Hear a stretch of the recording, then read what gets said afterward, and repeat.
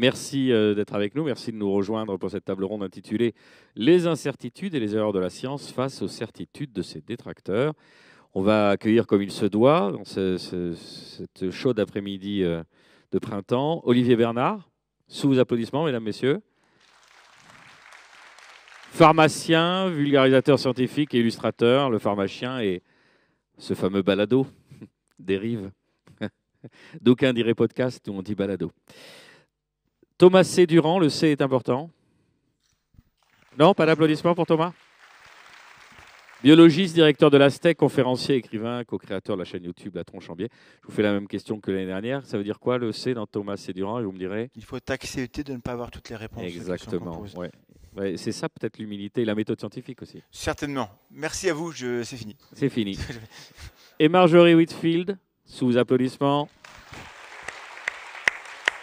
Chercheuse en biologie de la reproduction, vulgarisatrice scientifique, co-animatrice du groupe Facebook Vaccin, Facebook Vaccin France. Vous avez enfin reçu le prix Jeune Talent pour les femmes et la science France 2021. Merci d'être avec nous euh, tous les trois.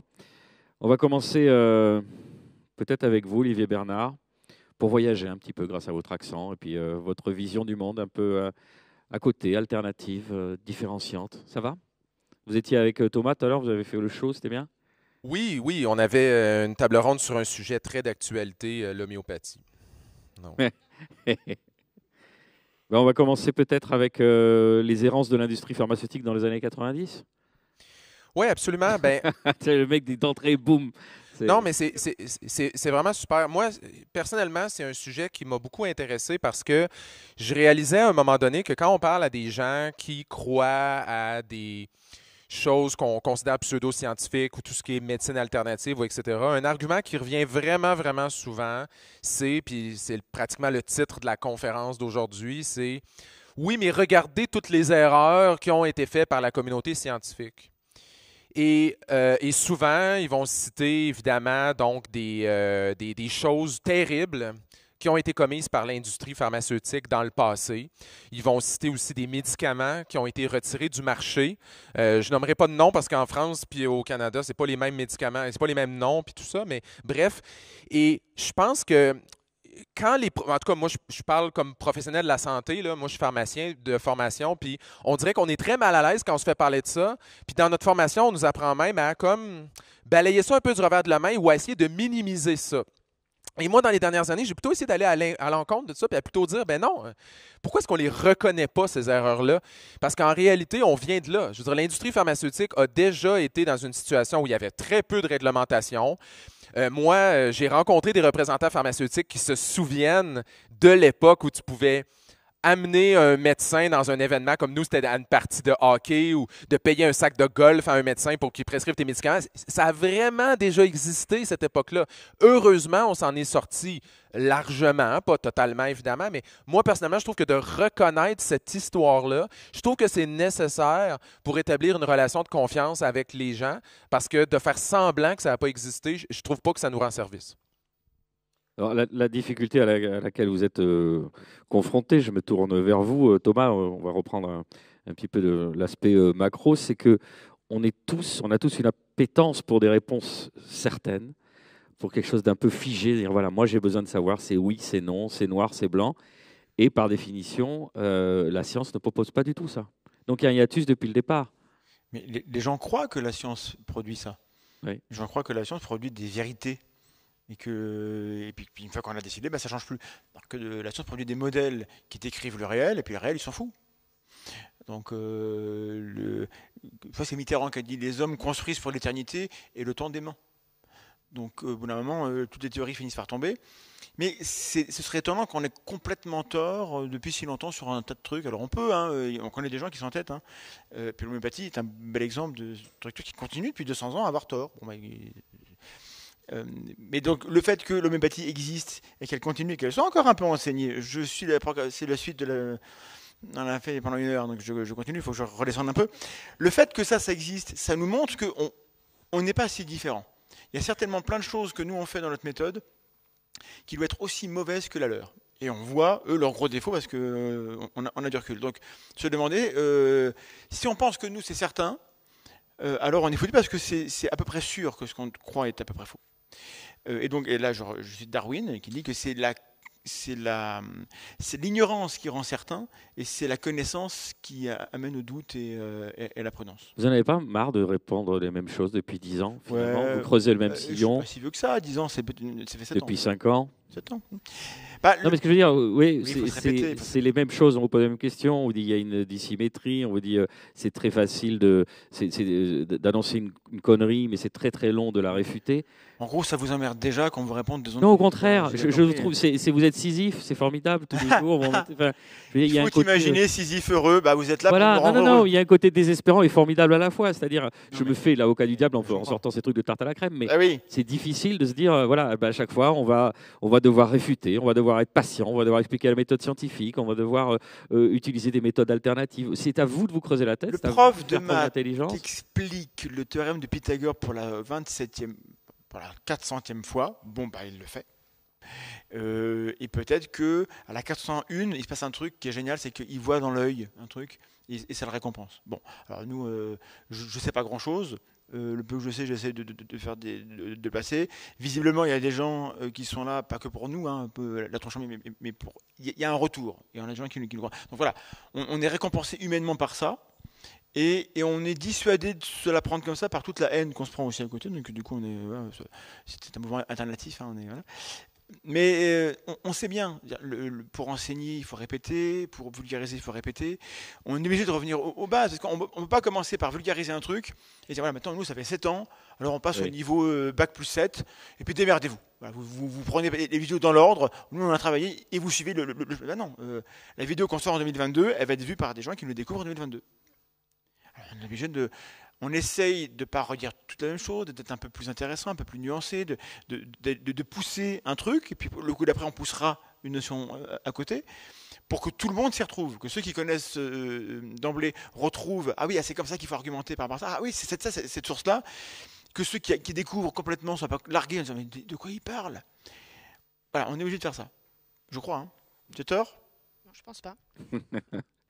Alors vous, Marjorie, qui êtes dans le champ de, de la recherche, euh, vous êtes évidemment euh, pas à armes égales face aux pseudosciences. C'est quoi votre méthode, votre technique, votre, euh, votre technique de fond de cours pour, euh, pour répondre aux arguments euh, Pour répondre aux arguments, spécieux euh, je sais pas, je dirais que c'est la même méthode qu'on applique en sciences finalement. hein. C'est juste de, prendre les arguments un à un, les vérifier, euh, éviter de tomber dans, dans ses biais habituels, euh, ne pas aller vers ce qui semble confirmer euh, ce qu'on a envie de croire, ce genre de choses finalement, ce qui est très classique. Et juste, je voulais rebondir sur ce que disait Thomas, c'est un peu ce qu'on voit aussi sur le groupe Vaccin France, cette, impression de tout- toujours répéter la même chose. Oui, on a répété 50 fois qu'il n'y avait pas de lien entre autisme et vaccin, mais cette personne à qui on le répète ce jour-là, elle ne l'a peut-être jamais entendu en fait. Donc nous, on a le sentiment de, voilà, de répétition et finalement de, de ne pas s'en sortir, entre guillemets, de, voilà, toujours faire la même chose, mais on a à chaque fois des gens différents en face de nous et qui, eux, n'ont pas eu euh, toutes ces informations auparavant. Et donc, il faut continuer à les diffuser de manière euh, calme et bienveillante, si possible. et, et, euh, en mettant de côté les doutes, parce qu'on disait que c'est mal vu de, de douter pour le grand public, ou au contraire d'exprimer que le doute est consubstantiel de la méthode scientifique, et c'est comme ça qu'on progresse. Bah Là, on est un truc de scepticisme. Donc, euh, nous, on pense que le doute est une vertu. Oui, oui, c'est oui. pas une fin en soi. Ouais. Et les gens, euh, enfin, on n'est pas là pour douter, on est là pour savoir, et le doute est l'outil du savoir. Que toutes les connaissances qu'on a et qui résistent au doute, bah, euh, c'est des connaissances. Et puis le jour où, où- où elles chancellent, ah, du coup, c'était une croyance, peut-être. Euh, mais c'est ça, quand on l'explique, on apprend en se trompant aussi. Et, et, et on ne sait pas qu'on se trompe si on doute jamais. Il y a plein de gens qui ne doutent pas d'eux. Mm. Didier quelque chose. bah, euh, S'il se trompe, il ne saura pas. Pierre Desproges disait la seule certitude que j'ai, c'est d'être dans le doute. Oui, c'est c'est déjà beaucoup. Euh, donc, euh, vous, Marjorie, a fortiori en se, en se focalisant sur les vaccins, racontez-nous un peu ces deux dernières années. C'était plutôt cool, les doigts de Pierre d'éventail. c'est bien. Très détendu. très détendu. Euh, eh ben, on avait déjà pas mal d'expérience sur la question, puisqu'en fait, euh, le groupe a vraiment démarré au moment de l'obligation des 11 vaccins pédiatriques en 2018. Donc c'est vrai qu'il y avait déjà eu, ben, on avait déjà affronté pas mal de, de vagues, de, vulgarisation, etc. Oui, pour inoculer la sclérose en, la sclérose en plaques. Notamment voilà, avec le vaccin contre l'hépatite B, évidemment. Et donc, euh, voilà, quand ça a démarré, évidemment, la pandémie, ça a été un raz de marée, effectivement, sur le groupe. Mais c'était aussi quelque part rassurant de voir que les gens qui connaissaient déjà le groupe, en tout cas, venaient du coup chercher l'information parce qu'ils savaient qu'elle serait potentiellement juste et bien amenée. Voilà. Mais du coup, oui, ça a été des années un peu difficiles. Ça commence à se calmer doucement, on va dire, mais, mais voilà. Alors, euh, euh, vous illustrez de votre côté, Olivier, euh, l'impossibilité d'échec des thérapies alternatives. Elles ont toujours raison. Décortiquez-nous un petit peu le process, en quoi elles ont raison, ça m'intéresse. Oui, ben c'est ça. Ben, ça c'est une idée qui m'est venue quand j'ai lu le, thème de la, conférence, qui est de parler qu'on on, a de la difficulté avec l'incertitude hein, dans la vie. ça, je pense que c'est vrai pour tout le monde. On est mal à l'aise avec ça. Et dans le domaine des pseudosciences, on fait face à énormément de, de certitudes. Ces gens-là, souvent, se prononcent avec énormément de confiance. Et encore une fois, si je parle vraiment plus dans le domaine de, la santé spécifiquement, euh, moi, je les trouve vraiment chanceux, les gens des thérapies euh, euh, pseudo-scientifiques, alternatives, etc. Puis je vais vous donner un exemple une personne consulte un naturopathe pour un problème de santé quelconque. Euh, peu importe ce qui va se passer, le, naturopathe donne un traitement, que ce soit des suppléments ou des vitamines ou n'importe quoi. Peu importe ce qui va se passer, ça va, ça va être considéré une issue thérapeutique positive ce que je veux dire par là, c'est que regardez les différents scénarios. Premièrement, si jamais le problème de santé s'améliore après le traitement naturopathique, ça veut dire que ça a fonctionné. Si le traitement, si la personne ne s'améliore pas, bien, le naturopathe va dire Ah, ben là, c'est parce que ça prend du temps, il faut, prendre, il faut attendre, ou encore va dire Ah, ben au moins ta condition s'est pas empirée. Donc, on a prévenu la détérioration de ton état. Et si la personne, le troisième scénario, c'est que la personne, son état s'empire, elle prend le produit et elle va moins bien, Bien, le naturopathe va lui dire ben, c'est normal parce qu'il faut toujours s'empirer avant d'aller mieux. Le corps est en train d'éliminer le mauvais, etc., d'expurger les toxines ou peu importe. Donc, vous voyez, ils sont dans une impossibilité d'échec. Ils sont capables, dans tous les cas, de justifier que leur action était bonne. Moi, comme pharmacien, si une personne vient me voir, je lui ai donné un antibiotique, la personne a mal au cœur, la première chose qu'elle veut, c'est arrêter ça tout de suite. Elle ne va pas penser Ah oui, c'est le méchant qui sort. Hein. Non, on n'a pas cette option-là. Donc, je trouve que c'est une difficulté vraiment supplémentaire, cette espèce d'excès de confiance qui existe dans le milieu des, pseudosciences, en fait. Et, de l'autre côté, qu'est-ce que, qui a été révélé par la pandémie On parlait tout à l'heure euh, de l'expérience de Marjorie. Comment ça s'est passé pour vous? Moi, je trouve que la pandémie, je sais que c'est plate, là, puis moi aussi, je suis tanné d'être en pandémie, mais en même temps, euh, admettons qu'on essaie d'être optimiste puis de voir quelque chose de positif. Moi, euh, comme vous, ça fait longtemps que je fais de la vulgarisation scientifique puis que je m'intéresse à des questions divisives, des questions qui ont rapport aux pseudosciences. Ça fait, dans mon cas, ça fait presque dix ans. Puis je sentais vraiment un manque d'intérêt en général de la communauté scientifique. Un peu comme si les gens qui s'intéressent au scepticisme scientifique, puis tout ça, c'est des gens qui aiment ça créer des, du trouble. Ou, euh, moi, c'était vraiment perçu comme les pseudosciences, c'est de la perte de temps de parler de ça. On a des choses plus importantes à gérer. Puis je trouve que la pandémie nous a appris que c'était une erreur de penser comme ça, qu'on a trop longtemps négligé les problèmes reliés aux pseudosciences, à la désinformation, aux fausses nouvelles, et que ça nous a éclaté au visage, en fait, finalement. Mais la bonne nouvelle, c'est que maintenant, je trouve qu'on est un peu tous sur le même pied d'égalité. Il n'y a plus aucun de mes collègues maintenant à qui je parle et qui me dit Non, c'est pas vraiment un problème. Tout le monde est d'accord. Donc, ça a créé une sorte d'éveil collectif. Donc, moi, j'essaie d'être optimiste en me disant Mais peut-être qu'on va repartir sur des meilleures bases à partir de maintenant. Vous partagez cette analyse, Thomas, par rapport à ces deux ans qu'on vient de passer? Moi, je dois être optimiste, c'est dans mon contrat. Sinon, on arrête tout. Euh, non, ça va être plus compliqué que ça. Parce que les, les croyances vont être là, parce que les, les gens qui soignent les médecins, les infirmières, les, sages-femmes sont des vecteurs de croyances considérables. Là, on parle de, on parle de santé, je ne sais pas si c'est la thématique santé, parce que là c'est quand même plutôt science, mais bon. Euh, non, mais on faisait un focus là temporaire sur, la santé, en particulier, etc. Le, les, métiers de la santé euh, sont remplis de gens qui, parce qu'ils ont des diplômes et qu'ils aiment leur métier et qu'en face d'eux ils ont des gens qui se sentent mieux, ils sont sûrs de savoir. Ils sont sûrs de savoir. Euh, je ne vois pas beaucoup de médecins douter d'eux vous connaissez des. Moi, je suis médecin et je passe mon temps à douter de moi. Vous en connaissez beaucoup? Euh, Il y en a peut-être quelques. Il y en a deux, bon, très bien. Euh, j'en connais deux, ils sont bien. Super. Euh, la Fantine, déjà. Oui, bah, je connais une. Et bon, évidemment, il est, je, je, je, je, force le trait. Mais c'est récent que dans les cursus euh, de formation des médecins, pas des, médecins, il y a cette lecture critique d'articles qui les oblige à comprendre ce que c'est qu'un article et, en, en quelque chose, et donc à savoir éventuellement plus tard revenir voir des articles, donc douter un peu de, ce qu'ils croient savoir. Mais fondamentalement, c'est des métiers très valorisés, euh, qui ont beaucoup d'autorité et qui reçoivent, comme dit euh, Olivier, des, retours. Les gens qui, qui, qui meurent, ils viennent pas se plaindre Mm. Les gens qui vont pas bien, ils se cassent, ils vont ailleurs. Le médecin, il, voit des patients qui sont contents de le voir, ils reviennent. Le médecin je suis un bon patient. Un médecin. Tous les, patients qui reviennent sont contents. Bah oui, Gilbert, évidemment, ils reviennent te voir, c'est que ça va. Les autres sont partis, demandent, et, donc il, lui échappe tous ces gens qui, ne viennent pas. Il ne peut pas le savoir, mais il faudrait au moins qu'il sache que ça lui échappe. Et je ne pense pas que, euh, peut-être que maintenant, voilà, on en parle, le scepticisme se fait connaître et tous ces biais-là deviennent connus. Peut-être que ça va inciter les, professionnels à être un peu plus prudents, mais dans, les croyances, on a quand même des, soignants qui ont été radiés parce qu'ils ne voulaient pas se faire vacciner. On a deux candidats qui veulent les, rien, qui veut les ramener, euh, puis voilà, euh, une dont une qui veut qu'en plus ils touchent tout l'argent qu'ils auraient dû toucher, parce que, alors qu'on était en pandémie, qu'on avait besoin d'eux pour sauver des vies. Et puis qu'ils ont préféré dire non, moi je ne me ferai pas piquer. Pourquoi? Parce que. Donc, ce que vous dire quand même, c'est que la communauté, de, en tout cas de, scientifiques de santé, doit se remettre en question. je pense que beaucoup en ont conscience, mais dans les faits, euh, la formation n'est pas suffisante pour que les gens y arrivent et il y a une dynamique comme ça de, de, de, nous on est les pros, nous on sait ce qu'on fait. Et j'ai raison, euh, on milite pour l'expertise. On va dire que il y a des gens qui savent mieux que moi.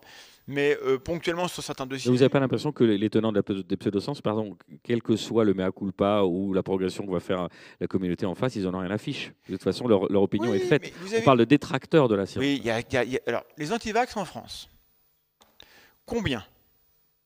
On a l'impression que c'est 30%. Ok, ceux qui n'aiment pas trop le vaccin, c'est 30%. 2 à 4% en anti-vax, pas plus. Ceux-là, on ne peut rien contre eux. Enfin, on ne peut pas les, convaincre, on ne va pas les forcer à. Voilà. Et puis les autres, c'est des gens qui sont raisonnables, qui n'ont pas le temps de se renseigner euh, forcément, qui vont éventuellement aller voir votre site, qui, est très, bien. raisonnable, c'est-à-dire qu'on peut les raisonner? Oui. Dans les, dans les 30% de gens qui doutent des vaccins, il y en a 25%. Si on prenait le temps de leur demander pourquoi ils doutent, parce qu'ils ont des raisons il y a des scandales, il y a tout ce qu'on veut, il y a un dissensus, il y a, Didier.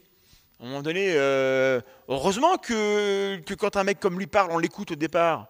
Donc on ne va pas leur en vouloir. Donc il y a un contexte tellement bordélique qu'il faut un certain, euh, c'est comme Nisson, il faut posséder un certain type de, une certaine somme de, facultés euh, particulières pour éviter de se faire avoir. Donc nous, il se trouve que Raoult, d'emblée, on s'est dit, tiens, il y a un truc qui est bizarre. Mais pour quelqu'un euh, qui, en pleine pandémie, se dit à qui on va, se fier, le mec, ce mec-là, il parle, mais il a tout ce qu'il faut pour qu'on l'écoute. Donc d'un seul coup, c'est le bordel. Bah, bah, du coup, plus personne n'a raison. Donc je suis même étonné que ça n'ait pas augmenté plus que ça pendant la pandémie. Parce que bon, on a quand même un fond euh, en France anti-vax, enfin, de, doute assez, assez fort. Donc non, non, il faut les écouter. Il faut s'intéresser à pourquoi est-ce qu'ils euh, doutent. Leur rappeler que les défauts de la science, il y en a plein, et c'est les mêmes ailleurs en pire. Marjorie, vous, avez fait votre mea culpa, vous aussi euh Mon mea culpa? En tant que scientifique, non, je plaisante, mais comment il y avait des, des, remises à plat euh, que, que, sous-entendait euh, Thomas? Bon, moi, dans ma pratique de scientifique? Oui. Mais c'est pas individuel, je veux dire, c'est dans la structure même de la manière de, la parole scientifique est, est, est portée pour l'instant, c'est pas très structuré. Quoi, que, à qui on fait confiance, comment ou quand comment Vraiment pas structuré. Ça, c'est un vrai problème que. Enfin, je, les, médecins ont l'ordre des médecins qui fait. Euh, peut-être pas très bien. Hein. on, va, va, pas forcément en parler. On a, eu, on a eu une table, vous inquiétez pas. C'est pas ce qui me concerne. Par contre, euh, je trouve que les tutelles euh, publiques de recherche, les grandes tutelles, donc INSERM, CNRS principalement en France, ne font pas ce travail-là non plus, puisque aujourd'hui, on a quand même eu au cours de la pandémie euh, des euh, chercheurs euh, CNRS et INSERM, enfin voilà, dire beaucoup d'âneries en mettant en avant ce titre mmh. et avoir Notamment des sociologues, Les sociologues. hein, qui sont experts donc de santé publique. et avoir euh, les tutelles qui parfois disaient oh on se désolidarise un petit peu de ce qu'il dit voilà mais sans plus en fait il n'y a pas de, de système au-dessus qui permet un petit peu de taper sur les doigts des chercheurs qui vont un peu trop euh, euh, voilà faire dire n'importe quoi et puis et puis il n'y a pas de système de, de contrôle ou de quoi que ce soit de tout ça quoi et donc ça c'est quelque chose que je trouve un peu gênant on a un peu le chercheur qui est finalement euh, voilà, libre de dire euh, tout ce qu'il a envie de dire. Il va se discréditer probablement devant la communauté scientifique, ça c'est sûr, mais euh, il va continuer à aller sur les plateaux de télé en se revendiquant du CNRS ou de l'INSERM, et ça pour les gens c'est censé être, et ça devrait être, un gage de qualité. Et donc euh, à ce niveau-là, je pense qu'il y aurait un travail à faire clairement sur nos institutions. Est-ce que c'est la même problématique pour vous euh, au Québec? Vous regardez ça d'un œil amusé d'entomologiste de loin, ou vous dites, bah non, on est tiraillé aussi dans la communauté, c'est les, mêmes choses qui se, produisent? C'est juste une impression que j'ai, mais j'ai l'impression que ça a été beaucoup plus tumultueux ici. Euh, je dirais qu'en général, nous, dans la communauté scientifique, médicale, académique, pendant la pandémie du moins, je trouve que il y a eu, on a vraiment senti, euh, on a, on a- on a vraiment senti que les gens étaient, étaient alliés, étaient d'accord. euh, il n'y a pas eu de grands, de grands, de grands incidents ou etc. Et vous l'attribuez à quoi? C'est des différences culturelles? C'est la, perception de la science dans la société canadienne qui est différente? Euh, non, ben en fait, on n'a pas une Québécoise, au moins, pardon. pense. En fait, c'est étrange parce que tantôt j'étais dans une autre, euh, dans une autre table ronde qui était sur en fait les, euh, euh, ça s'appelait euh, euh, euh, analyser un plateau de télé Covid. OK? Donc, c'était une table ronde avec toi, entre autres, euh, qui était euh, euh, excellent. D'ailleurs, vous l'écouterez sur YouTube, c'était euh, euh, super intéressant. Puis, vous avez montré une vidéo qui est un extrait d'une émission de télé où vous avez une, cherche- une chercheuse académique ou en tout cas une statisticienne, une épidémiologiste qui est là. Et là, là elle se fait rentrer dedans. là, ça existe-tu comme expression ici? En tout cas, bref, elle se fait rentrer dedans par les gens sur le plateau. Ça, nous, ça arrive pas des choses comme ça. OK? On n'a pas cette culture-là du tout. Donc, euh, je pense que peut-être que c'est c'est peut-être latent, c'est peut-être qu'on en... Les Canadiens en sont parle moins. polis. Ouais, peut-être, Enfin, exactement. vous exportez vos fachos. On a Mathieu Bock-Côté, on a des. Ah, je Ouais, suis tellement content de vous entendre dire ça. Quoi? On le déteste tellement. Mais pourquoi mais, vous nous l'avez euh, envoyé alors? Je suis content de vous entendre dire Et ça. puis il y a un aspect plus policé, d'accord, peut-être, mais le- le- le- ce qui est dit est quand même. euh, Mais c'est parce que le nous, on aime- reste là quand même. nous, on est dans une culture où on déteste les intellectuels, fait qu'on vous les envoie. Hmm. C'est ça. C'est La perception que vous avez des intellectuels, d'accord. Non, mais, Mais, c'est le dans- niveau a je- baissé en Je France. parle pas de moi spécifiquement, mais je parle de la, la- la culture en tant que telle. Du coup, pourquoi on t'a envoyé ici? Posez-vous les bonnes questions, question. Olivier. C'est vous qui m'avez fait venir, hein, non l'inverse. Alors, je, voudrais revenir sur le terme que j'employais tout à l'heure, parce qu'on a parlé des, des détracteurs de la science. Je pense que c'est la titraille, c'est vol- volontairement provocateur. Et, c'est quoi le profil des détracteurs de la science? Est-ce que là, je, je projette mon- mes propres fantasmes en disant est-ce que ça existe vraiment? C'est des gens à la marge qui, comme je l'ai dit tout à l'heure, de toute façon croiront rien parce qu'ils s'inscrivent en faux sur, le, sur tout Ou alors, il y a vraiment des gens qui remettent en question les fondements même de la méthode scientifique et de la science parce qu'aujourd'hui tout se vaut et que donc euh, j'ai fait mes propres recherches grâce à Internet, j'en sais autant que euh, mon voisin ou, euh, a- ou un expert. Richard est pas là. hein. Y y il y a toute une faune. C'est vraiment très hétérogène.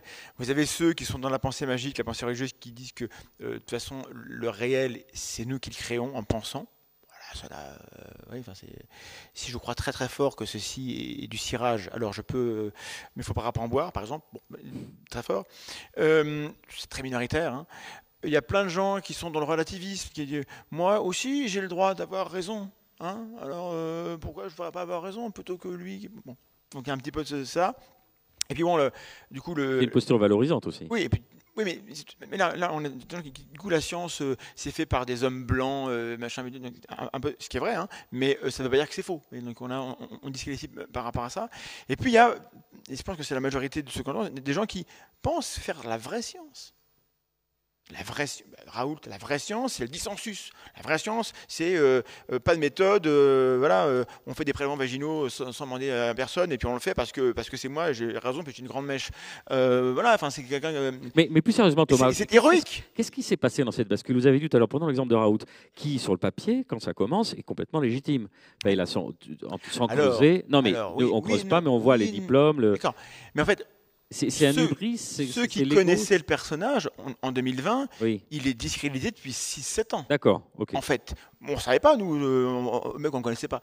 Il arrive, en fait, il, a été interdit de publier dans des revues américaines en 2013, euh, accusé euh, de fraude plusieurs fois. L'INSERM et le CNRS se retirent de son IHU parce que c'est n'importe quoi. Des rapports qui disent que éthiquement, ça, pue du cul, euh, que la qualité des, papiers n'est pas là. Il y en a beaucoup. Ok, alors, ils, font quoi? Ils font du high throughput, c'est-à-dire qu'ils ont des, des manivelles, et puis ils mettent des bactéries ils, séquencent, après ils disent Ah, c'est à nous, c'est à nous, c'est nous, c'est nous. Ils mettent leur nom partout. C'est très utile, mais ce n'est pas des grandes découvertes. hein. Dans l'eau, ils ont réussi à découvrir une nouvelle forme de, virus, les mi-virus. C'était super, c'était génial. Ils n'en ont pas fait grand-chose, hein, mais ils l'ont découvert, ils ont mis leur nom dessus. Donc c'est une usine à papier, à, faire les trucs. Il y a 800 personnes comme ça, et il y a un, fonctionnement tyrannique qui fait que les chercheurs euh, bah, euh, autour euh, sont un petit peu détachés, mais localement, le mec a un pouvoir de dingue et ça ressemble à de la mafia. Ça ressemble à ça.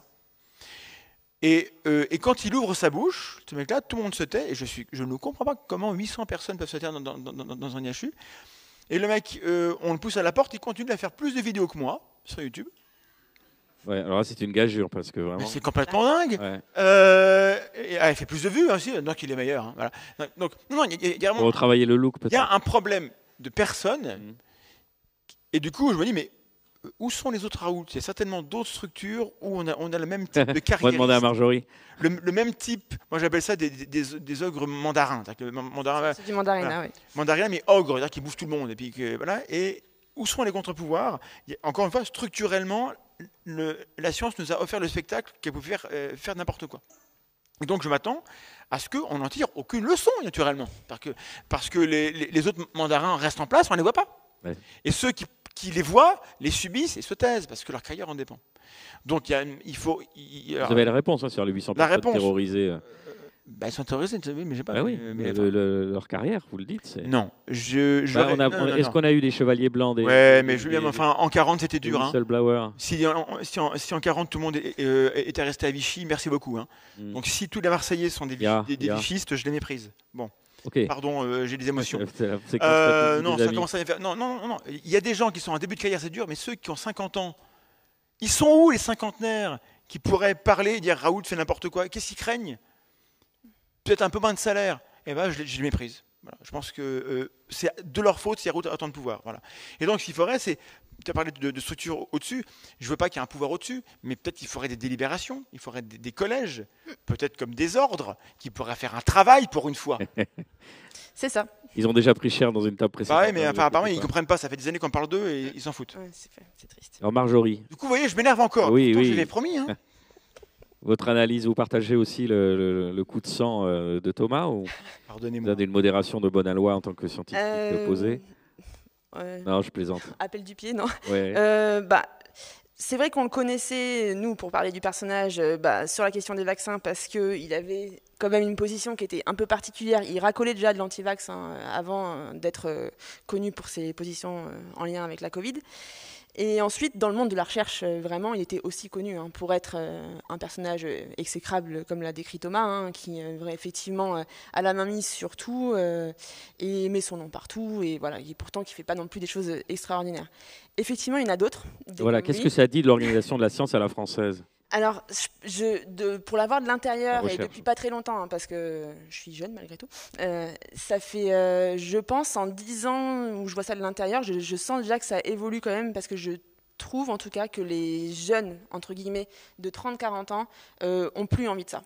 Et ont plus envie de rentrer dans, dans ce moule-là, où avant c'était vraiment le chercheur de l'équipe ou de l'institut, euh, voilà, le mandarin qui euh, fait tout, décide tout, euh, contrôle les autres chercheurs, leur orientation de recherche, etc.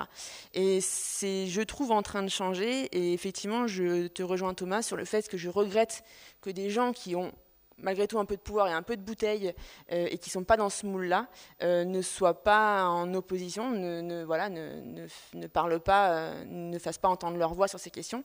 Et je pense que c'est soit parce qu'ils se sentent pas concernés ou qui s'en moquent, je sais pas, soit parce que euh, ils ont effectivement la crainte de, de voilà, d'une mauvaise réputation ou de soucis de, ce genre, quoi.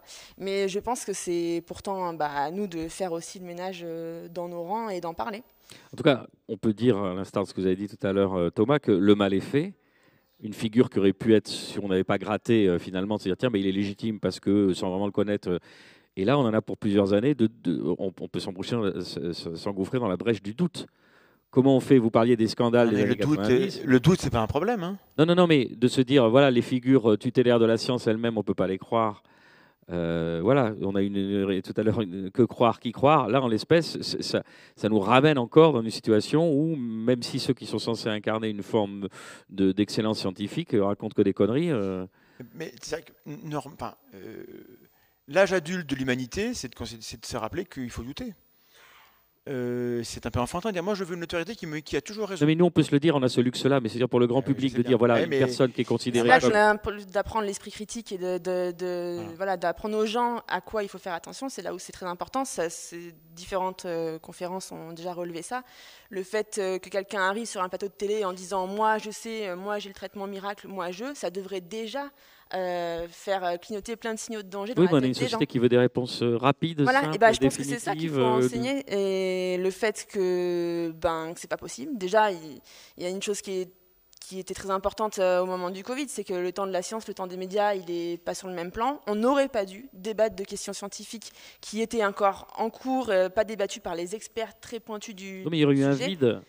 On aurait dû euh, passer notre temps à expliquer qu'on n'a pas la réponse. C'est ça, on, aurait dû utiliser ce Mais ça, c'est on l'a dit tout à l'heure sur la table avec Julien Pain de France Télé, euh, c'est pas vendeur, ça marche pas. On peut pas dire bonjour, j'arrive, c'est ma limite, vous me posez une question. Moi, je, moi, je suis pas un vendeur.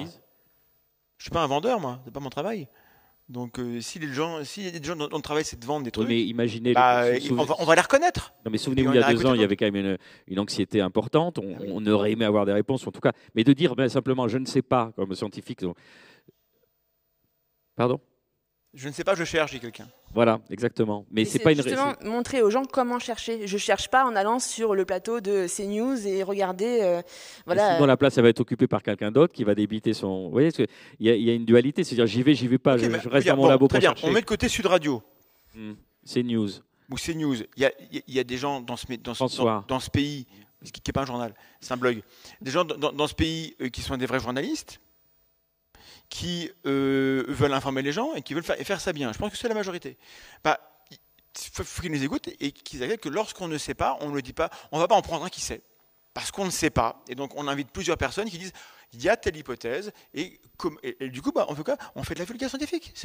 C'est même une occasion euh, en France de faire de la vulgarisation sur, sur la recherche. Et c'est quoi un papier scientifique?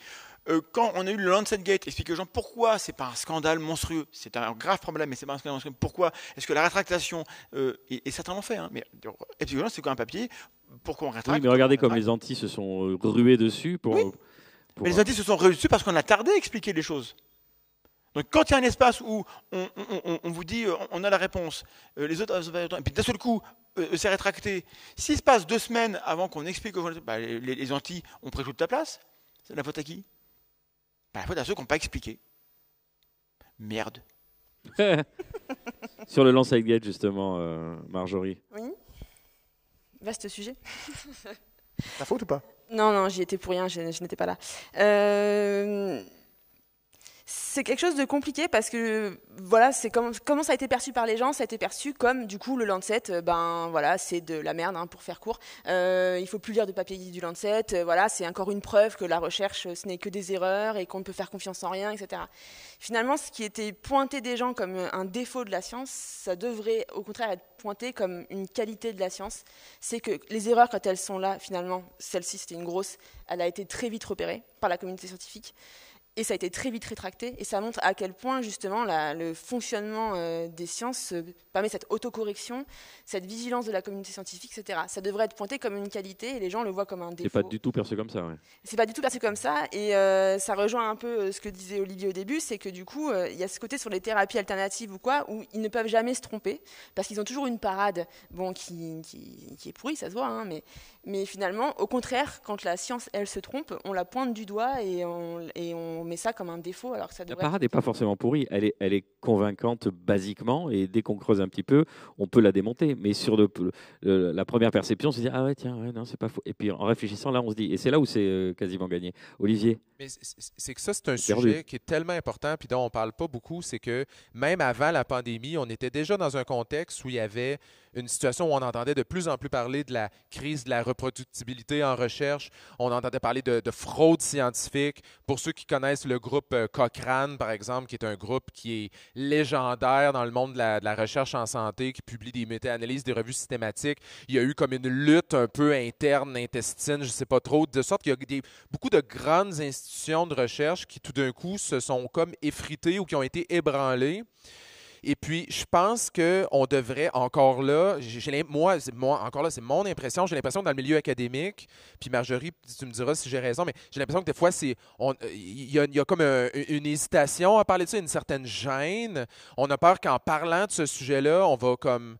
Euh, mettre, plus d'accent là-dessus, que les gens vont avoir encore moins confiance. Alors qu'au contraire, je pense que de souligner les. Justement, quand il y a de la fraude scientifique, on devrait au contraire être plus, euh, on, devrait en, on devrait en dénoncer davantage. On devrait faire beaucoup plus d'efforts pour dénoncer la fraude scientifique, pour montrer que la communauté scientifique est se veut autocorrectrice quand il y a une, pomme pourrie, mais qu'on va déjà les, les, détracteurs de la science, ils vont pas penser ça. Je peux comprendre que Marjorie soit méfiante. Ils vont se dire, bah là encore une preuve que tout se pourrit et que c'est magouille et compagnie. Mais on parle de qui? Ah oui, d'accord, ok. Si c'est les 4%, à un moment donné, je ne vais pas dire qu'on va les enterrer vivants, mais on va, on va, on va arrêter d'être obnubilés par eux parce qu'ils ne nous intéressent pas. On va s'intéresser aux 35 ou 40% de, de, gens qui se méfient et qui ont des raisons de se méfier parce que l'histoire euh, et, quand on leur explique pas le, le, ah, c'est intéressant. Vous faites le distinguo. Donc les 4% ah ils sont irréductibles. Alors les autres qu'on peut aider à avancer? Les autres c'est pas des gens stupides, c'est des gens qui, qui ne qui enfin, pas, pas des études euh, supérieures et qui sont pas dans la science, euh, en, majorité, et c'est des gens, si on leur dit le Lancet a sorti un, truc qui était faux, bah, premier réflexe, bah, il faut pas lire le Lancet. Ils ont bien raison. Donc il ne faut pas lire François, évidemment. Sauf que, on ne pas le croire.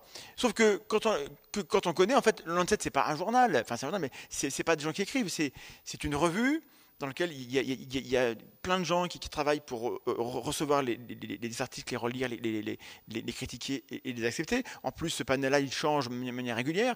Donc, c'est un, une revue scientifique, c'est pas un objet du commun, c'est pas une, rédaction du Monde ou de, voilà.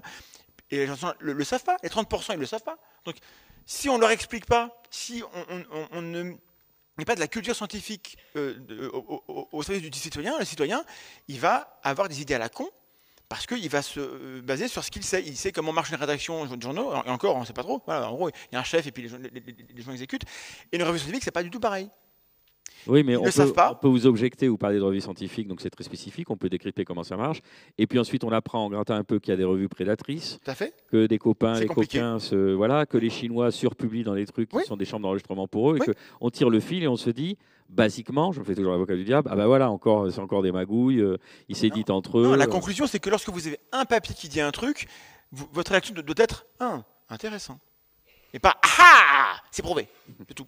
Et cette nuance-là, euh, tout le monde peut la comprendre, à part les 4%. donc, bah, euh, on explique aux gens, et, encore une fois, j'ai dit que les gens qui, n'aiment pas la science, qui, sont des détracteurs, demandent-leur c'est quoi leur grief? Et quand on met les griefs sur la table, on se dit, ok, ça, d'accord, mais ce grief-là, il est valable pour, pour tout ce qui n'est pas de la science. Ça aussi. Il n'y a aucun grief spécifique à la science qui n'est pas aussi en dehors. Or, la science a aussi des qualités qui permettent, de, valider le parcours d'une idée, le parcours d'un protocole, euh, avec des universitaires qui, normalement, font, carrière euh, sur la valeur de leurs paroles. Donc, euh, Didier est un exemple terrible, mais les autres n'ont pas intérêt du tout à ce qu'on les, les chope en train de frauder. Normalement, c'est fini la carrière. Donc parce que quand on sait ça, ben, on sait que la science qui a plein de défauts, les défauts qui sont là, ils sont ailleurs, mais il y a aussi des qualités. Et les détracteurs, ben, quand ils auront compris ça, ils seront moins des détracteurs. après, euh, euh, moi je veux pas qu'ils pensent comme moi, les gens, je veux juste qu'ils pensent un petit peu mieux. Et qu'ils m'aident à penser mieux d'ailleurs. Donc il ne faut pas croire que, que c'est des gens qui sont vent debout anti-science.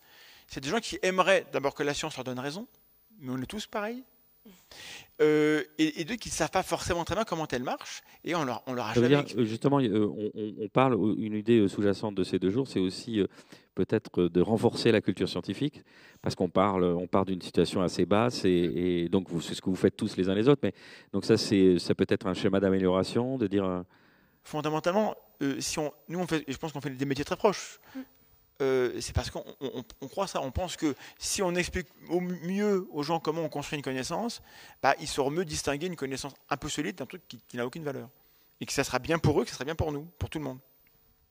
Et vous sentez qu'il y a une appétence maintenant euh, si on, Je suis biaisé, je ne sais pas. Oui, ça fait longtemps que vous êtes euh, biaisé. C'est à dire. Marjorie, vous, Juste pour rebondir euh, sur ce que disait euh, Olivier, c'est vrai que ce serait bien effectivement que les scientifiques en général euh, parlent plus de fraude, enfin voilà, que ce soit quelque chose qui soit plus assumé. Moi, je me rappelle avoir découvert que ça existait quand j'étais en thèse et en fait, je suis tombée des nues. Je n'avais même pas pensé que c'était possible que des scientifiques falsifient leurs données et publient des choses fausses. Ça m'avait pas traversé l'esprit en fait. C'est génial, j'aimerais vivre dans votre monde. C'était bien. Hein Youhou, on est censé avoir une certaine euh, éthique scientifique, enfin voilà, c'est quelque chose qui est normalement très fort, qui doit diriger ce qu'on fait. Euh, c'est, je veux dire, si on bidonne nos données, ça n'a plus aucun sens de, répondre à, la question. C'est pas que Marjorie est naïve, hein, c'est c'est vraiment comme ça que c'est vécu. votre parcours académique, votre licence, bah, vous arrivez et vous avez une sorte d'idéal du chercheur. Exactement. et, et, dans les faits, c'est ce que ça devrait être. Euh, et donc peut-être que nous on l'idéalise un petit peu trop. Et donc du coup le, et, et, du coup on, est on est vexé lorsqu'il y a de la fraude. Ça nous fait, de la peine. On, on voudrait pas que les gens du dehors de la science pensent du mal de chez nous. Et donc du coup moi je suis hors, académique. Je m'en fous maintenant. Mais euh, mais le mais c'est pas de la naïveté. C'est euh, et peut-être enfin c'est de la naïveté mais c'est pas que toi. J'ai fait pareil quoi. Et peut-être que du coup ça manque aussi de recul dans, dans les parcours académiques. De dire attention il y a même des gens qui vont enfin c'est pas de la fraude. Des gens qui vont maquiller ils se rendent pas compte qu'ils trichent. Ça, on en parle parce que euh, dans nos formations, enfin en tout cas dans la mienne, euh, quand on fait de l'analyse critique d'articles, on doit vraiment euh, voir où ils ont un peu tiré la conclusion à eux, soit parce qu'ils ont été un petit peu, voilà, trop, ils ont voulu trop enjoliver entre guillemets leur conclusion, soit parce qu'on voit qu'ils ont un peu essayé de tirer les pivailloux dans le bon sens. Enfin bref, donc ça, on, s'en méfie, mais vraiment de la fraude fabriquée pure et dure, c'est quelque chose que oui, en tant que scientifique au départ, on se dit, bah, dans ces cas-là, pourquoi on fait de la science? On n'a qu'à écrire des articles sans rien faire à la paillasse. Certains, le font. Et l'analyse critique justement euh, d'articles, c'est euh, deux jours sur toute votre formation en 13 ans, c'est ça? Ah, en sciences, non. En sciences, c'est. Euh... je plaisante. ben, Regardez pas comme ça, Thomas. pour Vraiment méchant. Alors, en licence, euh, si je donne juste un exemple, hein, donc euh, sur un, le parcours pour faire une thèse de biologie, de sciences, on va dire biologique, quoi. Donc, une licence, c'est beaucoup de cours d'apprentissage sur les, les, différents modules de biologie. Après, en général, en master, on ne fait quasiment plus que de l'analyse d'articles. C'est-à-dire que nos modules, euh, je ne sais pas moi, en écologie, en biologie de la reproduction, euh, sont de l'analyse d'articles. Et on n'apprend qu'à faire ça. Et, euh, et c'est. Mais c'est pas en médecine. Là, c'est la science. Là, c'est la en médecine, la, euh, lecture critique d'articles, alors je sais pas les, volumes, c'est plus que deux jours, je crois, hein, mais il y a quand même un fort coefficient, mais ça arrive un petit peu tard dans, le cursus peut-être. Mais j'ai, n'ai pas les détails. Donc je... Pour revenir sur la fraude, on, a par exemple l'exemple de la microbiologiste Elisabeth Bick, qui est néerlandaise et qui traque très précisément les fraudes. Euh, donc on se dit c'est, c'est, super vertueux, mais quand vous suivez son compte Twitter, elle se fait euh, harceler elle se fait euh, par des scientifiques, certains des scientifiques de renom, euh, qui sont vexés, qui, sont, qui la discréditent en tant que femme. Qui... Mais ça revient à ce que Marjorie disait tout à l'heure, c'est que c'est les institutions qui doivent prendre action parce qu'elle, elle a décidé de le prendre sur elle et de prendre action. Puis probablement que vous l'avez fait vous aussi à certains moments. On peut pas être le ben paratonnerre de tout le monde. Là. Ben oui, c'est qu'à un moment donné, il y a un moment où on se dit, ben non, personne ne dit rien, il y a des associations pour ça, il y a des ordres professionnels, personne ne dit rien, je vais le prendre sur moi, mais le, retour de force est tellement, fait tellement mal que c'est pour ça qu'il faut que les institutions fassent cet effort-là. Parce que ça peut pas reposer sur des individus. Je veux dire, c'est correct, là, on peut être des sonneurs de cloche, mais il faut que les, il faut que les gens qui sont en situation. Ah, eux, ils sont seuls et ensuite les gens de, de Ben chez oui. Raoult, ils ont la protection fonctionnelle. Ouais. Ils sont, oui, oui, exact. ils seront protégés. Et du coup, il y, a- il y a des. Alors, j'ai oublié qui, qui remet ça, mais Olivier va pouvoir me, me répondre. Euh, des gens comme Elisabeth Bick ou Monsieur Bernard qui reçoivent la médaille Maddox du courage scientifique, euh, mais qui n'est pas remis par des institutions. C'est tu nous diras qui, remet ça, euh, parce que euh, on reconnaît qu'à un moment donné, les gens ont du mérite, parce que c'est sur leur initiative personnelle qui se mettent en danger dans leur carrière ou de, de leur entourage pour dire ça suffit, faites mieux de la science s'il vous plaît, j'ai mal à ma science en gros. oui. Et donc toi tu as reçu la médaille Maddox du courage scientifique, qui, qui, qui remet cette décoration? Euh, c'est euh, c'est un organisme anglais qui s'appelle Sense About Science, euh, puis en collaboration avec la revue Nature, je pense. Mais en même temps, tu sais, puis moi, j'étais super content de recevoir ça, mais en même temps, moi, ce que je trouve fantastique dans, dans ma situation, puis beaucoup de gens qui n'ont pas cette chance-là, c'est que euh, moi, dans, le- cas sur lequel je m'étais penché, qui était une histoire de vitamine C injectable et tout ça, ou euh, par rapport au cancer, puis il y avait des grandes associations d'oncologues, d'oncologie, que personne disait rien alors que ça prenait de l'ampleur, ça prenait de l'ampleur. Ça a commencé à avoir un, un- Ça entrait dans la politique même, et personne disait rien. Mais le jour où j'en ai parlé, Là, les institutions sont sorties en disant Hey, savez-vous quoi, ce gars-là, ce qu'il dit, c'est pas juste lui qui pense ça. Il a raison. Et là, c'est eux qui ont pris Et dans l'intervalle, vous avez enduré un shitstorm euh, terrible. Ouais, exact. Racontez-nous quand même, parce que psychologiquement, c'était juste euh, dingue. Ben, c'est honnête. Non, je, mais je peux Je pas. rappelle que vous avez 26 ans, regardez, vous êtes marqué là. Mais je peux pas. J'ai quel âge vous avez dit que j'ai? 26. Non, je viens d'avoir 40 en fait, mais. euh, Oh. Mais honnêtement, en même temps, on peut pas se plaindre parce que, gars, les trois ici ont fait de la vulgarisation scientifique. On n'est pas obligé de faire ça, là. C'est vrai, là. Je veux dire, toi, là, t- tu peux avoir une carrière extraordinaire sans jamais faire de vulgarisation scientifique, être très heureuse, euh, à l'aise financièrement, professionnellement. Je veux dire, tu sais, c'est ça la réalité, là. Alors que moi non, maintenant c'est moi c'est foutu. Hein. Euh, si je quitte la vulgaire, qu'est-ce que je fais? Moi je suis à la rue. hein. Ah non non. Bon, c'est peut-être différent. Mais non, quand même, quand même, c'est pas vrai. Tu sais, la réalité, c'est qu'on peut pas. Moi, je trouve pas qu'on peut se plaindre. Tu sais, si on décide de dénoncer des injustices ou des choses ou des, des situations qui n'ont pas de bon sens, il faut s'attendre à ce qu'il y ait un backlash, entre guillemets. là. Euh, mais en même temps, je pense que. On, on- on- on est en droit d'attendre qu'on va avoir du soutien puis du support. Vous avez été rasséréné par la réaction de la communauté euh, scientifique? Euh, rasséréné, ça veut dire soulager, ça? Ouais, Oui, oui, oui, absolument. Eh ben, extrêmement, ben oui, totalement. Je veux dire, ben oui, ben oui, c'est sûr, c'est nécessaire. C'est nécessaire.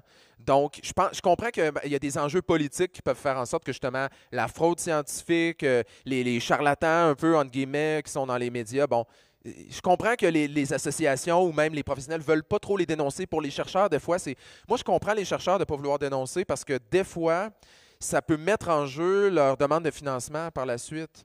Si jamais ils ont un backlash et que ça se reflète négativement. Mais ça montre que le système est un petit peu perverti quand même. Ben, Tout le monde se totalement. tient par la barbichette et qu'il est tenu par des, oui, par mandarins et des. Et du coup, les gens qui n'aiment pas la science et qui nous écoutent, ah, j'ai bien raison de pas aimer la science. Non, bah, euh, les mains. alors comprenez bien que là, tout ce qu'on dit là, c'est connu, il n'y a pas que nous qui le disons, et, et- et que malgré tout, ça reste le meilleur système. Imaginez comment c'est en dehors. Eh ben, c'est pire. Allez, on va en profiter pour lancer, euh, se prendre un petit peu de temps pour lancer des questions. Je suis sûr qu'il y a des questions. Il y a quelle heure? Il y aura moins de frustration. Dans... On, a, on a 20 minutes. Pourquoi Vous avez un truc? Euh, Bah oui, euh, oui. Un train? Non, non, mais je- il faut qu'on écrive un, un truc pour ce soir qui n'est pas fait. Bon, alors, première question pour Thomas, puisqu'il est pressé. Est-ce qu'il y a des questions dans la salle? Levez vos ma petites mains, faute. que je vous vois. Plus vite, s'il te plaît, Boris. Pardon Plus vite, Boris, s'il te plaît. Oui, pardon, je suis confus. Euh, J'ai une question à propos de Didier Raoult. Est-ce que, à un moment, les gens ne se disent pas aussi, parce que je crois que c'est dans deux ou trois mois euh, qu'il doit partir à la retraite ou quitter son poste de directeur de l'IHU, est-ce que les ordres et tout ça ne se disent pas au bout d'un moment, dans trois, quatre mois, de toute façon, il va partir, donc euh, on s'en on s'en occupe pas et, et, euh, et en fait, on laisse couler ce qui se passe parce que finalement, dans trois, quatre mois, ça sera fini, quoi. Ils veulent la paix. Oui, je crois qu'ils veulent la paix avant, euh, avant tout. Alors si c'est ça, je pense qu'il se faut le doigt dans l'œil quand même, hein, parce que ce sera pas parce qu'il est plus directeur de l'IHU qu'il va pas continuer à... Enfin, les vieux scientifiques qui partent pas, on les connaît dans les labos. Peut-être que Et- du coup, il aura sa chaîne à lui. Oui. Parce que là, il, euh, est sur une chaîne euh, qui, enfin, qui appartient à l'IHU, toujours. Et il désinforme. Ouais, bon. Je fais de mon mieux, Thomas. C'est gentil. Hop, on l'encourage.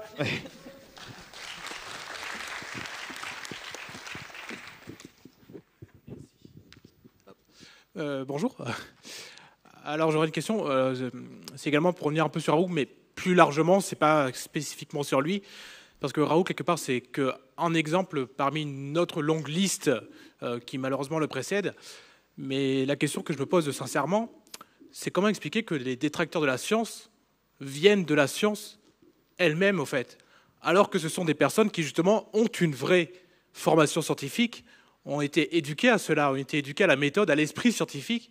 Et comment expliquer qu'à un moment donné, pour je ne sais quelle raison, ils vrillent et ils deviennent eux-mêmes vecteurs de croyances, euh, vecteurs de, euh, de fausses informations. Comment expliquer cela? Est-ce qu'il vrille? Ou est-ce qu'il a toujours été comme Est-ce ça? qu'il et que vrille C'est ça la vraie question.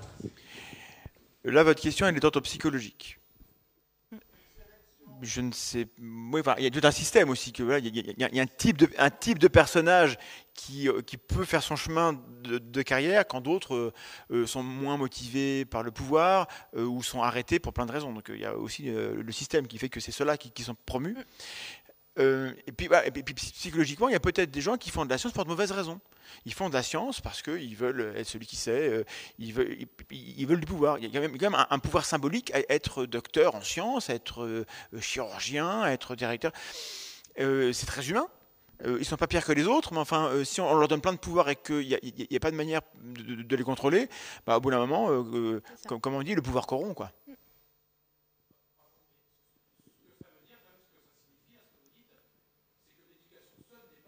L'éducation seule n'est pas suffisante. Oui, mais, euh, euh, mais c'est comme pour l'esprit critique. Connaître les biais, ça vous, ça vous, vous êtes toujours biaisé à la fin, hein, vous savez ça. Euh, savoir exactement c'est quoi la méthode scientifique, ça ne veut pas dire que vous allez la suivre. Vous- à mauvais escient. voilà, non, non, mais, mais- mais, enfin, on est obligé de se surveiller les uns les autres, au moins un petit peu. On se fait confiance, mais on se surveille. Et quand on a un type qui est en haut et que plus personne ne sait, parce que dès que quelqu'un dit euh, un truc, euh, il, le clash et que c'est le parrain, ça ne peut pas bien finir, même si au départ le mec est, est- compétent. Puis euh, pour ajouter sur ce que tu sais, tu disais, il, y y avait une belle carrière normale et très prolifique, etc. Et d'un coup, il a, il a pris une vrille, comme tu dis. Ou, puis on a cette conception-là. Puis moi-même, je l'avais avant. Je me disais, mais pourquoi ces scientifiques-là, qui ont eu des carrières extraordinaires, tout d'un coup, vers plus, tard dans leur carrière, prennent un dérapage complet, etc. Mais puis moi, j'ai étudié plusieurs cas là, que, que, que vous connaissez pas, parce que c'est plus, mettons, au, au Québec ou euh, des choses comme ça, que nous aussi, on a les nôtres là, qui font ça. Puis à chaque fois, puis je, je, je dis pas que c'est comme ça toujours, là, mais j'ai l'impression que c'est beaucoup de cas où, quand tu remontes dans le temps, tu te rends compte que la personne, sa vraie, il était là dès le départ. Puis ça, rejoint ce que, ce que, ce que, Thomas dit, c'est-à-dire que la personne, tu as l'impression qu'elle a toujours eu une belle carrière ou qu'elle avait un respect pour la méthode scientifique. Mais quand tu retournes dans le passé, tu fais pas de temps finalement. Non, c'est une personne qui, au contraire, souvent cultivait un certain mépris pour la méthode scientifique ou avait des très mauvaises habitudes ou avait une absence d'esprit critique depuis de longue date, en fait. Mais c'est ce qu'on disait, c'est quelque chose dont on parle peu, qui est un peu tabou finalement, même dans les labos, quand on sait qu'il y a des pratiques pas très chouettes qui se font dans l'équipe d'à côté, par exemple, c'est des choses dont, dont on parle pas vraiment, voilà. Et donc, euh, je pense que du coup, ça a des choses qui ah, semblent apparaître comme ça, mais qui apparaissent pas, effectivement. Et dans l'équipe d'à côté, mais dans la nôtre, quand c'est notre équipe, c'est pire encore. Ouais, dans- bah oui, c'est pire. Ça m'est pas personnellement arrivé, je crois. Évidemment. Mais euh, par contre, ça amène des fois à se friter sévère, hein, parce qu'on peut être face à quelqu'un qui a un peu moins de rigueur sur euh, l'in- l'interprétation d'un résultat ou sur la façon de mener une étude. Et des fois, ça peut vraiment clasher. Quoi. Et par exemple, quand on est jeune, entre guillemets, et face à des chercheurs qui ont 10, 15, 20 ans de On plus, ne la ramène pas. ça peut être compliqué, sachant que voilà, il y a toujours la pression de devoir publier rapidement, surtout quand on est jeune et qu'on veut continuer dans le domaine, et que du coup on est un peu tiraillé parfois entre bah, voilà, le, le besoin de travailler et de continuer à se faire ce métier et le, du coup bah, ces convictions euh, qu'il faut défendre. Une question ici, puis on prendra. Euh, bah, en fait, ça va être euh, justement en droite lignée de, ce que vous êtes en train de dire. Euh, parce qu'effectivement, je pense qu'il y, a- une forme d'isolation si jamais on se retrouve face à une fraude, même, juste une suspicion dans, ce genre de situation. Mais en fait, est-ce que euh, est-ce que finalement le REC c'est pas aussi on a on a on a ici plein de gens avec euh, je dirais différentes formes de pouvoir quelque part avec un pouvoir universitaire euh, avec aussi un pouvoir médiatique c'est aussi c'est aussi ça d'avoir des des vulgarisateurs. Est-ce qu'en fait le REC c'est pas la parfaite occasion d'avoir justement un, premier pas vers un processus de réunion en fait et de de collaboration nationale et internationale de, soutien de soutien face à, la fraude et puis et puis en fait de de systèmes permettant justement d'exposer en fait les, les- les- les problèmes scientifiques. On peut avoir, euh, je pense qu'on a, on a, on a toutes les clés, non? On, a, on a tous les éléments pour commencer On quelque n'a chose pas toutes les clés. Hein. Peut-être pas toutes, mais au, au moins on a, on, on a, on a une certaine forme de, euh, de, de euh, ouais, je pense de, de différents pouvoirs suffisants en fait pour pouvoir commencer à, à faire un changement qui soit, euh, qui soit vraiment en fait à échelle nationale. On peut réunir les chercheurs en fait et les, euh, et les, et les vulgarisateurs dans, dans, dans ce but-là, non? Moi, je veux juste dire rapidement que moi, c'est ma première fois que je viens au REC. J'ai trouvé ça vraiment impressionnant et inspirant parce que ici, les gens qui font des choses croches sont nommés. Et moi, j'ai jamais connu ça de ma vie. là. Je suis allé dans plein de congrès, je vais dans des congrès scientifiques et c'est toujours comme, oui, on le sait hein, qu'il y a une personne qui dit des choses des fois, ha ha ha. Ici, vous êtes comme Raoult. Tu sais, je veux dire, c'est complètement différent. là. C'est complètement différent. Vous avez aucune gêne à Oui. nommer les choses. Je Il n'y a pas, pas si de culture juridique, parce que derrière, il y a des procès. ben, donc je vous sais pas, si c'est comme ça dans tous les colloques ou si c'est juste les Après, il est bien possible Mais- qu'on ne se rende pas compte que nous, puisque là, parce que moi c'est quand même déjà mon deuxième rec, hein, euh, euh, il est bien possible qu'on ne se rende pas compte du risque qu'on est en train de prendre juridiquement, en effet, et que peut-être ça nous calme. Euh, mais je pense que c'est mieux de le faire, mais sur des gens où on a quand même assez de recul pour le, pour le faire. Et, et certainement qu'à à force de le faire, un jour on le fera un peu trop. Et qu'on et- et- et qu'on- et qu'on- Pas pointer et du qu'on doigt va bâcher des gens un peu trop vite. C'est le risque que- qui nous pend au nez Oui, et oui. ça va nous arriver. hein. Bon, mais sur, et Perron, par exemple, on a, c'est bon, allez-y. hein, je pense que là, il mérite bien.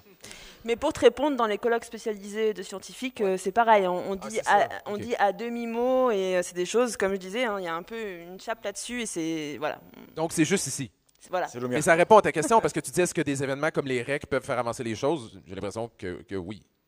Bon, après, Perron et Raoult, c'est pas une découverte de, du REC. hein. Non, c'est vrai. Une question. euh, ouais. C'est- c'est- il ne faut rien toucher. Là. Ok. Euh, donc merci pour euh, les, votre p- participation. Euh, je voulais savoir en fait pourquoi euh, justement le, la, la crise du, euh, du Covid a été euh, l'occasion de s'en rendre compte. Comment ça se fait qu'il n'y ait pas eu, en tout cas en France, euh, pas plus de positionnement ferme de la part des euh, autorités euh, scientifiques ou étatiques? J'ai été halluciné. hein. Alors, je suivais un peu sur Twitter, etc. Et je me dis, mais c'est pas possible. Quand est-ce qu'il va se passer ça? Ah, enfin, il y a eu Raoul qui a dit ça, c'est trop énorme. Là, c'est bon, maintenant, il va y avoir ça qui va être dit, il va dégager. Et rien, mais même pour l'homéopathie, ça a mis mille ans. Il y a même des, des médecins qui ont été euh, non confraternels, qui ont été attaqués, alors que. Enfin, je, je comprends pas en fait ce qui se passe. euh, c'est. C'est un Bienvenue peu alarmant, quoi. Bah oui, Je oui. comprends mais- pas non plus. Je comprends pas non plus. Vous n'avez pas des, des personnes à l'intérieur qui, qui peuvent vous, vous aiguiller en disant Alors, ben, là, on, Tout le monde est corrompu. C'est ce qu'on dit à Marseille. Peut-être que c'est vrai. Mais c'est eux qui corrompent, du coup. En, tout, en tout cas, d'accord. Donc là, pour l'instant, à l'heure actuelle. il, il manque euh, finalement cette, euh, voilà, ce- je sais pas ce que ça pourrait être, une sorte de, de communauté, de, de, de commission, de je ne sais pas quoi, qui, qui pourrait intervenir dans ce genre de cas. Il manque ça, et je trouve que ça envoie un message encore pire, c'est que, comme vous dites, ouais. euh, moi aussi, je me dis, ah là, c'est bon, il a dit vraiment un truc trop énorme. Ah, puis il y a en plus l'essai clinique un peu, euh, voilà, sans trop d'autorisation, c'est bon, il va dégager. Et on voit qu'il dégage pas. Ça envoie un message aux chercheurs en mode, mais en fait, vous pouvez faire n'importe quoi, il va pas vous arriver grand chose, quoi. Et je trouve que ça, c'est très dangereux et c'est vraiment dommage que ce soit pas pris. euh, Les laboratoires et les universités ont des comités d'éthique et d'intégrité. Il faudrait qu'ils aient, du- ils aient du pouvoir. Mm. Ils n'en ont aucun. Ou très peu. Est-ce qu'il y a d'autres questions Oula, je vais devoir me déplacer de l'autre côté. Peut-être un interlude, Thomas, une chansonnette ou une réflexion bien sentie Boris, Ah non, d'accord, ça va plus vite encore. J'ai transfert de. perdu dans ma forme intérieure. Voilà. Moi, je me demandais si le- un certain rejet de la science qu'on retrouve maintenant n'a- n'est pas vraiment culturel, notamment euh, au niveau des antivax. Parce que quand on regarde les pays asiatiques, bon, euh, ils sont pratiquement tous vaccinés. En France, euh, il y a trop de Français, je vais rien dire. Mais bon, moi, j'habite en Belgique. Euh, dans, le, donc, dans le sud, on est francophone, dans le nord, ils sont néerlandophones. Quand je compare les deux, les néerlandophones sont vaccinés à plus de 90%. En Wallonie, c'est nettement inférieur.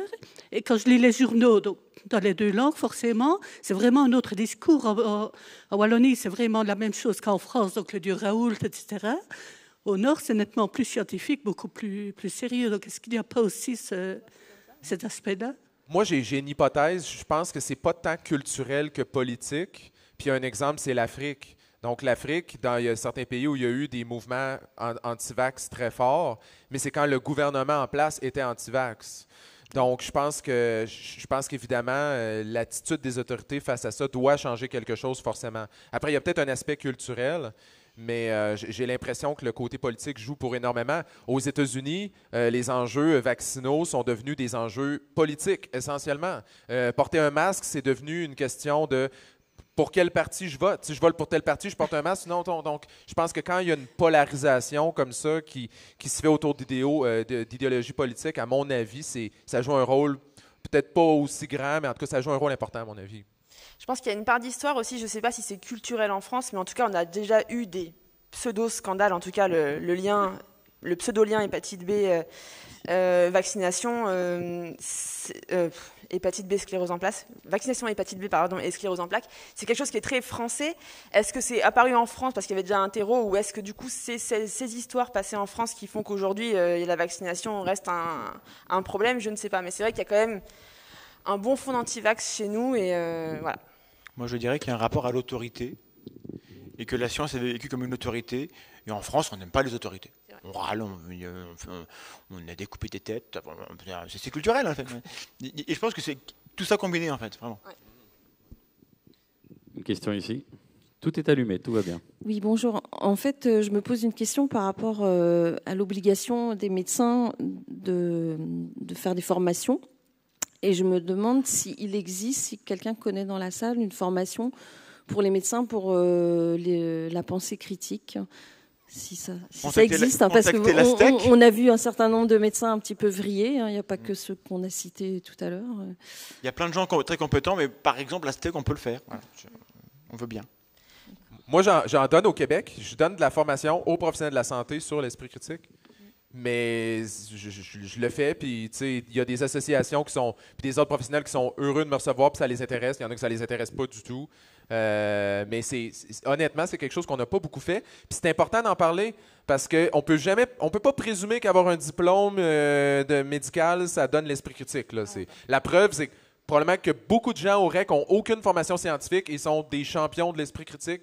Il n'y a pas nécessairement de lien entre les deux. Donc, moi, je trouve que c'est vraiment important d'en faire de la formation continue, mais ça ne fait pas partie du cursus euh, typique de la formation continue des médecins.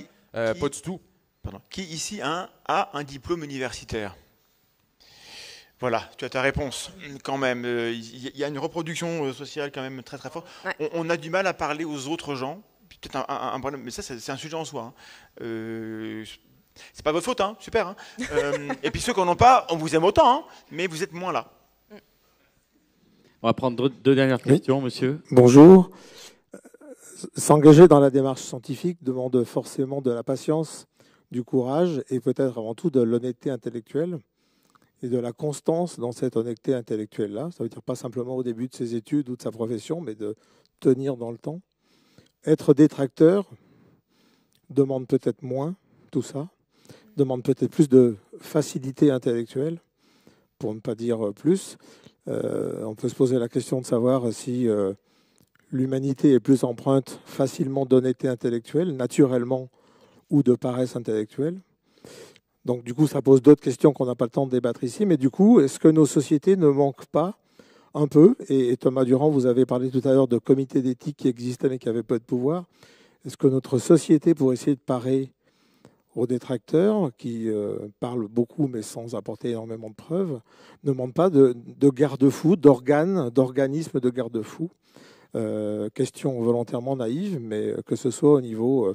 Euh, social, politique, médiatique, scientifique, qu'on mette en place plus de garde-fous, quitte à ce que ces garde-fous eux-mêmes soient euh, changés, contrôlés régulièrement, mais qu'on puisse avoir des instances qui euh, nous contrôlent, nous tous. Quand je dis nous tous, c'est nous tous à tous les, à tous les échelons. Question simple. hein. Euh, vaste programme. Oui. Hein, et oui, qu'est-ce qu'on attend?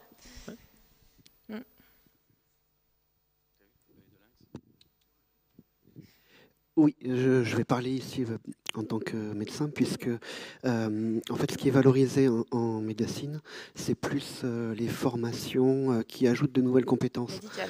euh, des compétences médicales. Donc, elles sont pas visibles. Les autres ne sont pas visibles en fait dans les formations continues. Non, c'est vrai. Puis euh, moi, moi j'ai donné beaucoup de la formation aux médecins sur des techniques de communication avec les patients. euh, et puis à, chaque fois que j'en donnais, je me faisais tout le temps dire Hein, on n'a jamais ça, des formations sur la communication. Puis je suis comme, mais c'est une grosse portion de la pratique médicale. Euh, mais c'est effectivement axé sur les connaissances et les compétences de diagnostic, traitement, etc. C'est un peu dommage, en fait.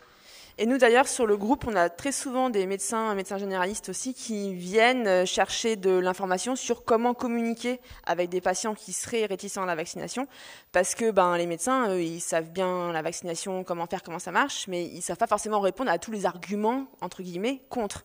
Et des fois, je pense qu'ils tombent des nues en entendant certaines choses parce que ben ils, vont pas lire en fait ces ces bêtises-là sur le net, et donc ils, ont des fois besoin de savoir ben voilà qu'est-ce qui va marcher, qu'est-ce qui- qu'est-ce que je dis au patient pour euh, pour essayer de, de le convaincre un petit peu euh, du, bien, du bienfait de la vaccination.